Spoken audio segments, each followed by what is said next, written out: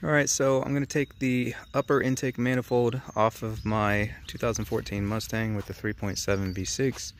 Should be the same process for 2011 to 2016, 17, whenever, where they still had the uh, the 3.7 V6. Um, if you came here from my spark plug video, I appreciate that. I was doing a plug video, and you got to take this manifold off to get to the side of these plugs here. But I also wanted uh, just a how to take your manifold on and off video because some people take them off to port them and they're not even going to mess with the plugs. So that's why I did it this way. Uh, a little bit complicated. YouTube would think I'm copying my own videos if I just cut th this part from my plug video and just made a separate video out of it. So that's why we're doing it this way. So anyways, again, if you came from the spark plug video, I appreciate it. So um, yeah, let's get this thing off of here so I can do the other side plugs. So obviously you got to unplug everything that's attached to it. You should uh, disconnect your battery while you're working on it. Get that uh, negative off of there and down of the way to where it's not going to pop up and reconnect. So you want to be careful. These are all plastic, okay? So they're going to be, well that one's metal, feels like, yeah. But this is plastic, this is plastic. So, and of course the uh, manifold itself is plastic. So you want to be careful with all this stuff. Don't break these or you're going to have a vacuum leak nightmare. So these little clips here, the way these work, if you push this tab down, okay, there's a little plastic ring that loops over top of another plastic ring in here. And when you push this down, it makes it expand. So you should be able to push this tab down and then carefully wiggle it off like that. See if I can get that action on there. See, you press it like that and the whole thing expands so it'll come off of that. So there's several like that. Um, this one here, I believe it's the same, although it's a different color, so I'm not 100% yet. Uh, but it's upside down, so that's going to be a pain in the butt. Well, you know what? We can leave this one attached because I'm just going to take, just disconnect the uh, intake work there. Um, but once I get this off, we'll take a look at it if it's the same, different, whatever. So we know what we're looking at here. I'll go over everything that we unplug. I'm gonna have to get that out of there. So I'm gonna unplug everything and then we'll go over everything that has to come off. All right, so this right here, you don't have to unplug. As you can see, I just unbolted it. Make sure no crap falls down in there. I always put my bolts back where they came out once I remove the parts so I know where they go and I don't lose them. So that unplugged there. Um, uh, disconnect this bracket here, okay? There was hmm. It looks like there should be something there but I don't really I didn't take anything off of there. Disconnect here. You got to pull the red tab back and then press down on the black to pull it out. On this one you just press the black tab and pull it out. Okay. I this turned on me I popped that out of there so I could pull this out of the way. And again, that's that plastic line, so be careful. Obviously disconnected here. I'm gonna leave my throttle body attached. Uh, that way I don't have to replace the throttle body gasket, which I already bought, but I don't have to detach it, so. Let's see what's over here. Oh yeah, this wonderful thing. That's what was right there. So this is interesting. This looks like two hose clamps, but it's one single one. So I had to use my long player, pair of needle nose to simultaneously squeeze those together so I could pop it off. And that's that metal line. And uh, it was mounted right there. So I took that out. You got to pop a couple of these out. There's this this one here. These plastic things just pop out. Um, uh, this one right here went up in there somewhere. Yeah, right there. So they're just these crappy things. You're probably going to break them popping them out. I believe there was one other on this side somewhere I had to pop off. Uh, no, it was that one. Okay. Oh, down here for that. So, where was that one? I was stuck in the side there. So then, I believe that's it. If not, I'll let you know should just be removing the mounting bolts here. They're all going to be around this location. I believe that's one too. And I gotta see if there's any hiding down in there, which there may be. So I'll get these bolts out and I'll pop it off and then show you where all those bolt locations are. All right, I got them all loose. There's just seven, so there's two on each end. One there, one there. Same back there. Along this row here, and then the one there. Seven total. So I'm gonna get these all the way out and then we'll pop her off.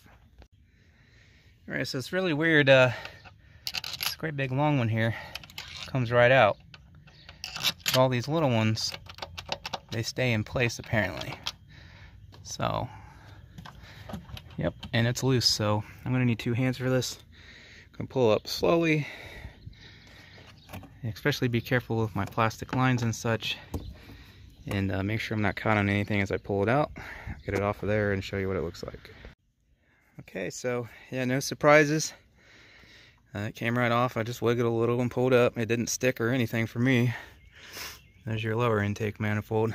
So it does appear that I removed everything correctly. Oh, oh forgot about that big one. It just fell out on me. So there's the underside.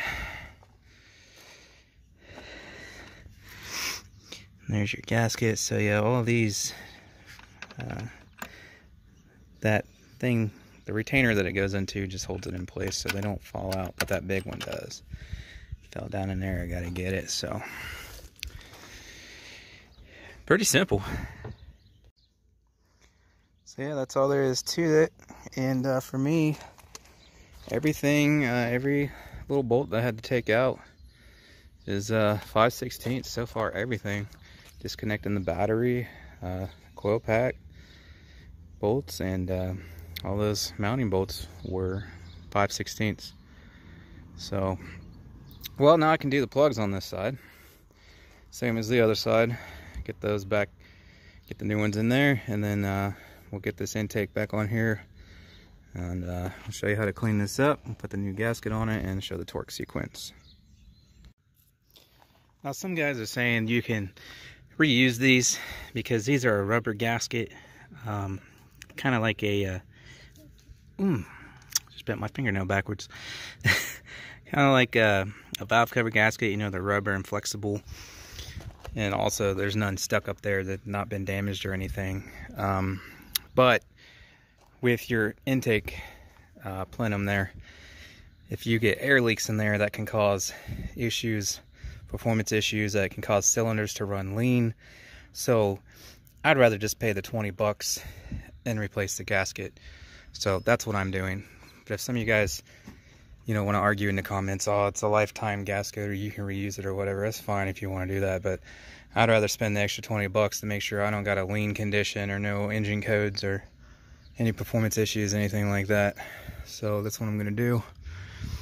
And uh, because these are rubber and there's not anything to scrape off with a gasket scraper, all I'm going to do is just uh, take a paper towel or like a shop paper towel and basically wipe this until it's dry. I'm going to wipe away from the inlets because you don't want any of that shit falling down in there. So I'm just going to wipe around it but drag it out.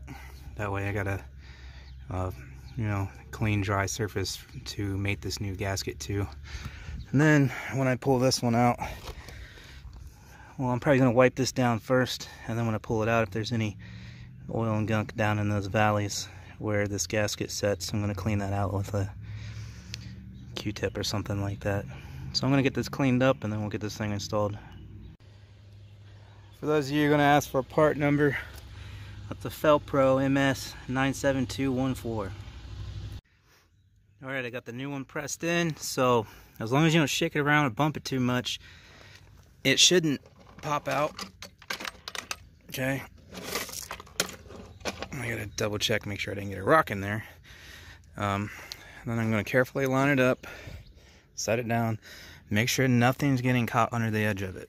Also make sure my gasket doesn't tip out and get pinched. I gotta make sure that it stays in there just like that the whole time.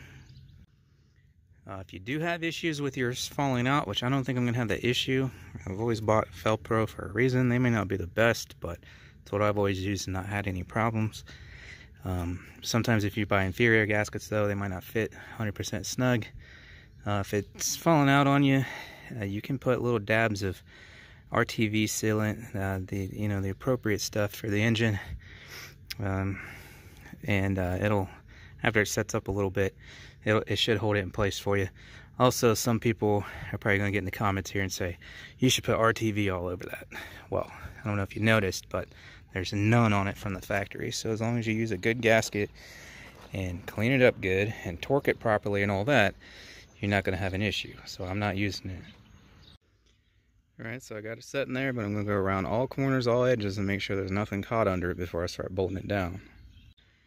Alright, just to let you know, it should sit there kind of nice like that. It's got a little bit of teeter, but I did get this caught under the back edge, so watch out for that. Now, that's not the only thing you can get caught under there, um, but for me, that's what I got caught.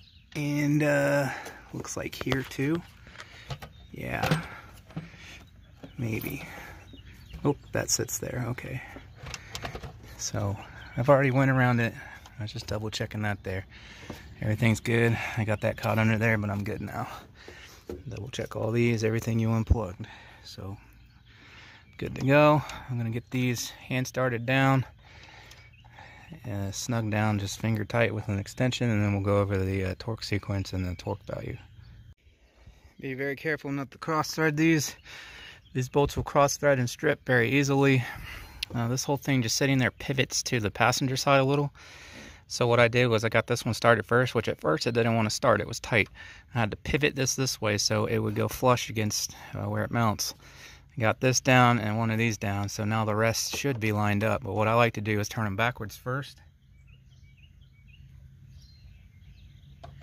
Sometimes you can, there it was, get that little click where the threads line up. Almost. Well, it depends on the angle. Sometimes you can feel it and hear it. It should go in real easy, and if it's not, you either need to move this a little to get it to line up, or you're starting to cross thread, so back out and try again. They should all go in real easy. Alright, so here's the torque sequence, okay? That's like glowing in the light. So anyways, there's your torque uh, sequence. You go from 1 to 7 in order. 1, 2, 3, 4, 5, 6, 7. So that's going to be, uh, let's see here. 1, 2, 3, 4, 5, 6, 7. It's 10 newton meters of torque or 89 inch pounds.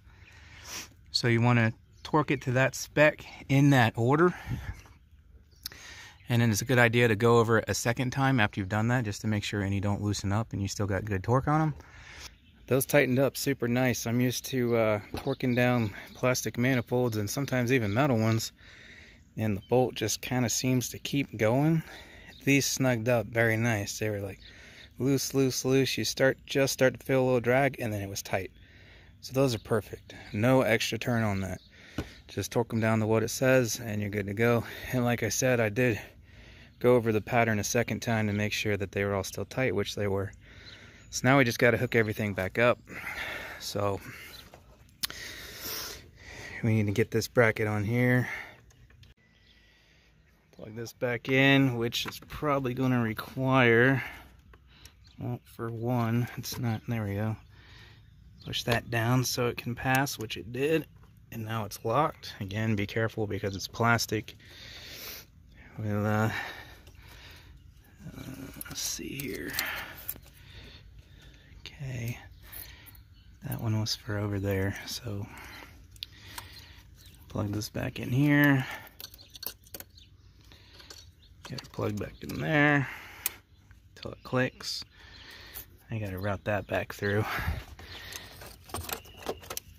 Okay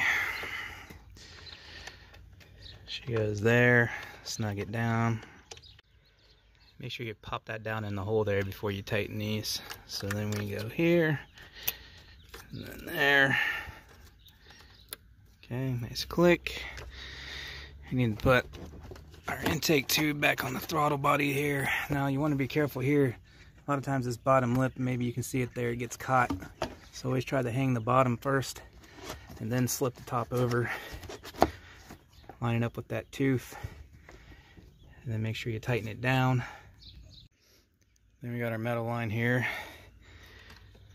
Need to oh that is for the plastic one but I'm gonna bolt this metal down first.